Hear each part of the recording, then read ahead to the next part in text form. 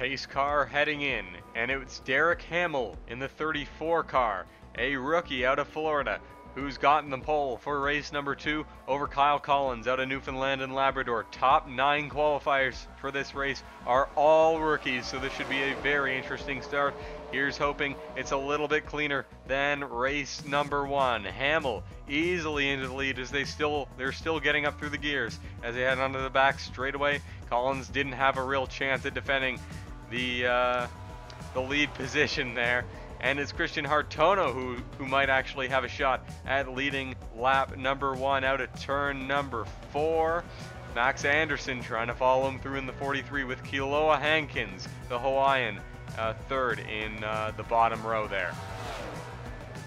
A bit further back, we're already three wide for position. It's Thaber in the 900, Fingai in the 92, and Endumian up high in the number one battling for around 20th place. Everybody's giving each other lots of room this early on, no need for unnecessary contact, but we're going to see that kind of give and take go away as we get later on into this race. Uh, cameras focused on Mifune Sanjuro, who got a full-time ride after impressing the Maverick GP uh, team with a fifth place run at Sandown and at Lee USA. So it'll be interesting to see what Sanjuro can do in his uh, first full-time season here in HARC. Hartono continues to lead in the number 24. He's doing an impressive job keeping his cool and remaining consistent considering this is his very first HARC points start. Kealoha Hankins is going to drive by him there as he runs a bit wide in turn number two. Hankins is the first driver out of Hawaii to participate in HARC. He's currently being, being challenged by Andreas Allen here, who is very, very quick in practice. Andreas Allen makes a return to the series after uh, not being present for the 2016 HARC Can-Am series. Andreas is still one of the most experienced drivers in the field. He's participated in at least three or four HARC events here at Homestead Miami Speedway.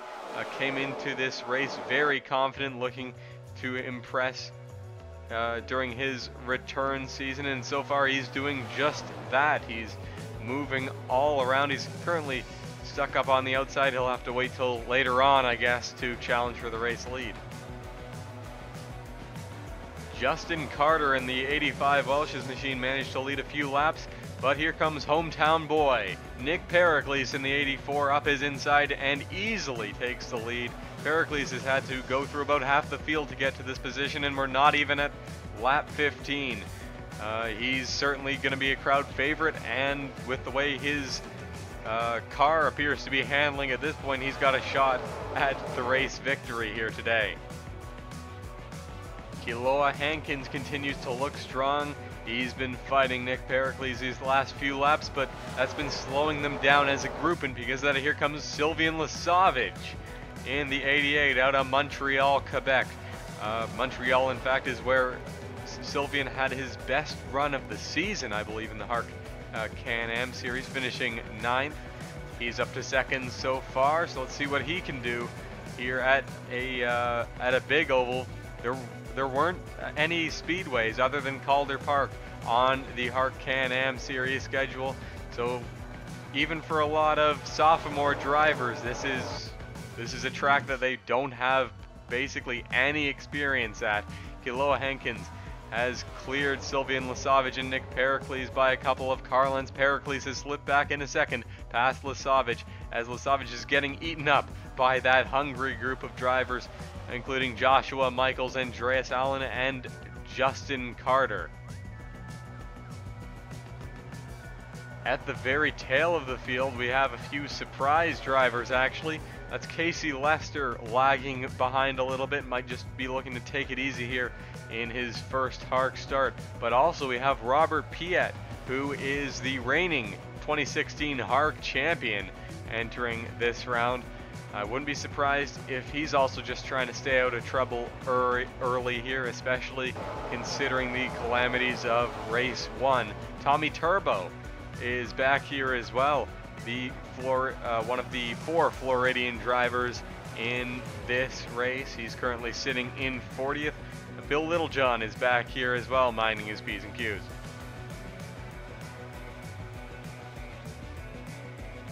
It's pretty easy to understand why some of the drivers would be hanging back at this point considering some of the awesome racing we've been having at the front of the field. Several rows of three wide racing their cars moving all over the place, but so far we've kept it clean and green. That's the 72 of Harvey alongside Andreas Allen Krasta. Brendan Krasta out of nowhere up into fourth uh, position for now. Awesome job by him. Faber has had to go through about half the field to get to this point, and if he can continue his way forward, he might have a shot at the race leading a few laps. Andreas Allen, awesome drive off the outside there. As it appears Joshua Michaels is going after Kealoha Hankins for the race lead.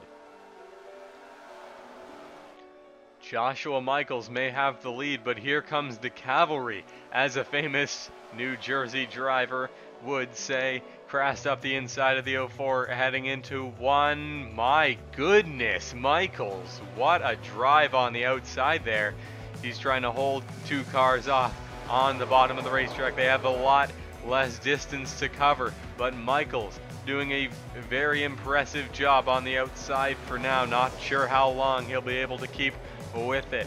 Uh, that's Krasta into the lead in the 09, and that's DJ Curtis, former race winner here back in 2015. The last time we visited, in fact, uh, he he won one of the races we had here.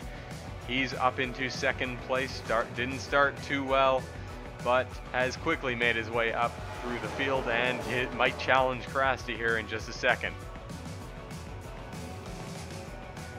These drivers putting on quite a show for these Florida fans. Krasta just got overtaken by Harvey. Now Allen goes by up the inside of the 72 though. Very nice drive off the corner.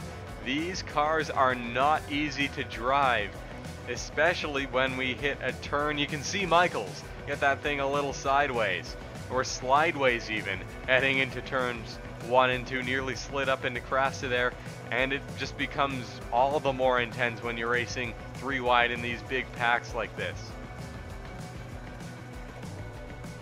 Michael Harvey up the inside of Andreas Allen trying to get that lead back into turn number one. Leaves the door open for Krasta there, who shoves his nose in there unprotected. And it looks like he's going to make it stick.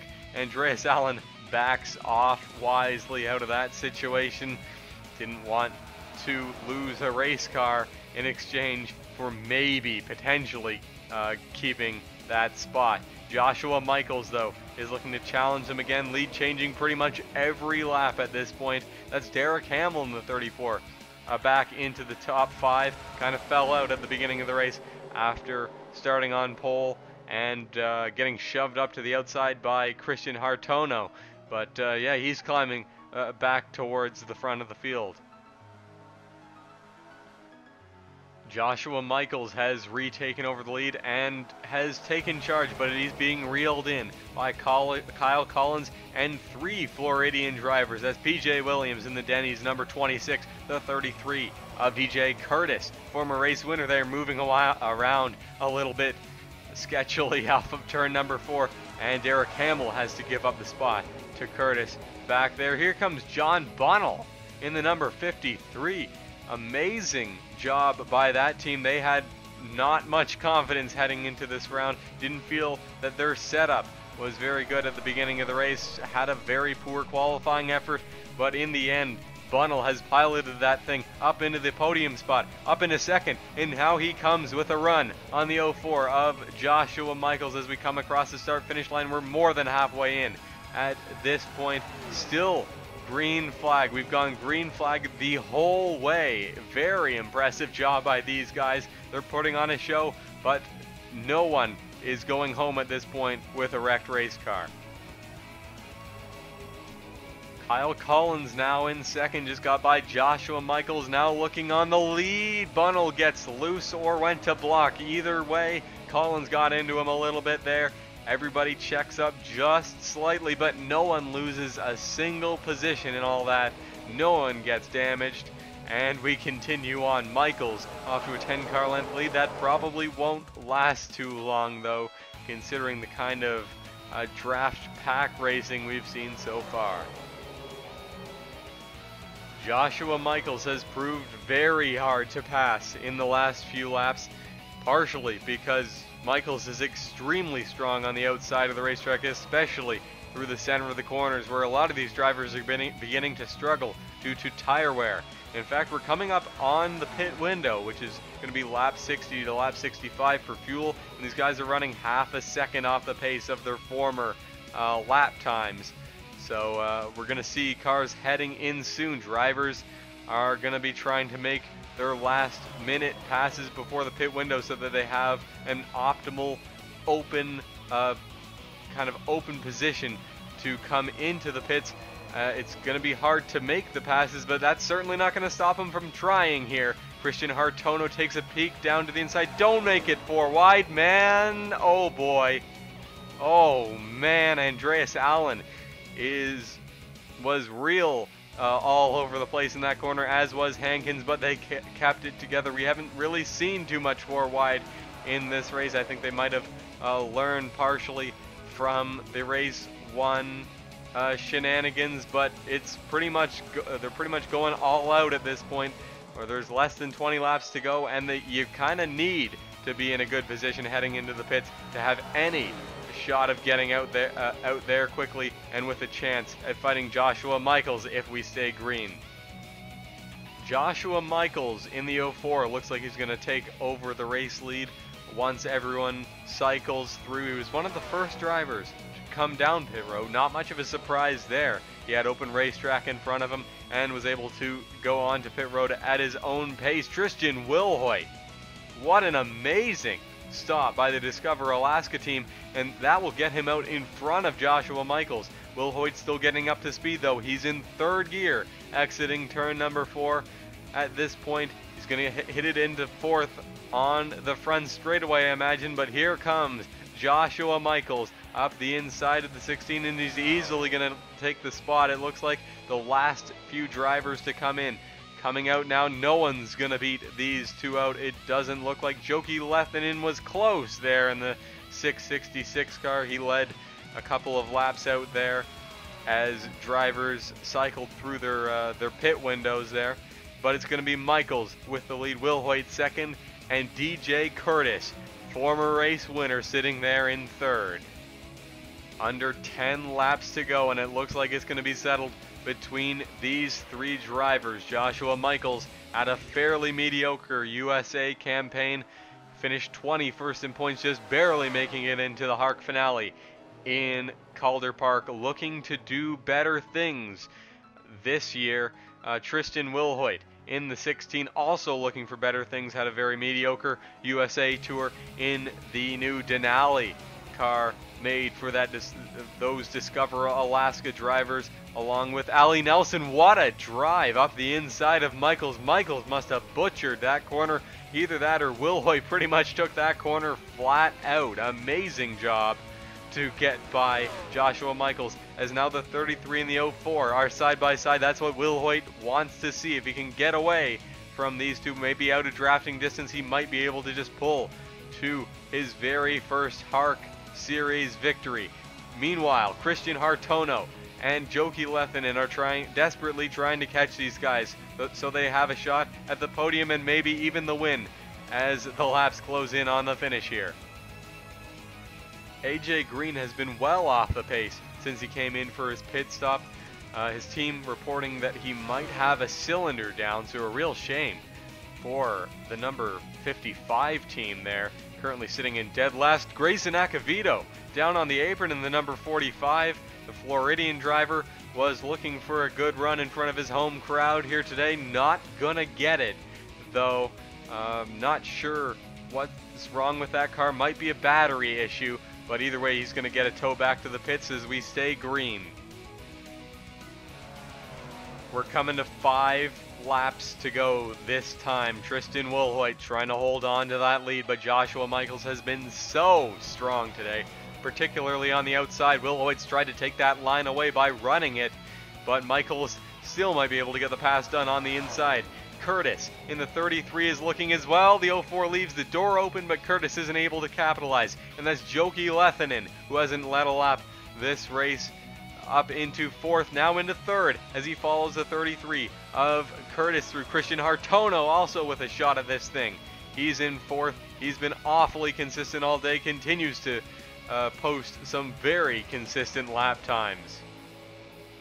Coming to two to go now, and it's Hartono with a move on Curtis as we head down the front straightaway into turn number one. Michaels has pulled away by around 10 to 15 car lengths over the other drivers. Curtis manages to defend Hartono up high and drives off towards Michaels, trying to give it one last shot. It's going to take a real determined effort by or Hartono uh, to catch up to Michaels in this last lap. I'm not sure whether it's possible. Uh, that's Brian Fox suddenly in fifth out of nowhere, uh, going for a move on Tristan Wilhoit as we enter the final lap of the race. Curtis is closing, but can he close fast enough? Oh my goodness! What a run through turns one and two Curtis just had. Michaels just has to hold on for two more corners, though. He's led the most laps in this race. He's led 30 laps. Can he lead the last one, though? Side by side into the final corner. Curtis won this race back in 2015. Who is Hartono going to go with? Whoever Hartono goes with might win this race. Michael's coming back on the outside. To the line, it's going to be Curtis, though, by one one hundredth of a second to grab the victory here in Homestead, Miami, his second here in front of his home crowd in Florida. Second photo finish of the weekend as Curtis just narrowly got Michaels by that much at the line 10 thousandths of a second, 1 one hundredth, as Curtis is heading to victory lane. Second position is going to be awfully hard for Joshua Michaels to stomach, I think. Leading 31 of the race's 75 laps, having arguably the fastest car of the day, but coming just that tiny bit short in the end. Christian Hartono, third place today, got there through brute consistency, just as he did in the newcomers race. If he can keep this up, he'll be one to watch this season. Tristan Wilhoit from 41st to 4th, easily the hard charger of the race in the Denali Tanana. The 74 of Brian Fox stayed under the radar this race but comes home 5th. Joki Lehtinen led a few laps, comes home 6th in the 666 car. Hawaiian driver Kealoha Hankins in the 0 comes home 7th. Brandon Krast in the 09 uh, led some laps earlier on, comes home 8th. Kyle Collins in the 48 out of Newfoundland and Labrador finishes 9th. And it's Michael Harvey in the 72 rounding out the top 10.